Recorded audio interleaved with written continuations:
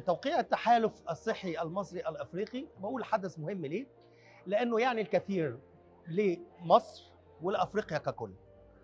مصر بتواجدها الدائم بجامعاتها بنشاطها الصحي بالدعم اللي بتلقاه الدولة من كل من بداية من سيادة الرئيس وحتى كل الهيئات الصحية للتعاون بصحة المواطن المصري وبنظرة شاملة لمصر 2030 مع النهوض بالقطاع الصحي في أفريقيا ككل.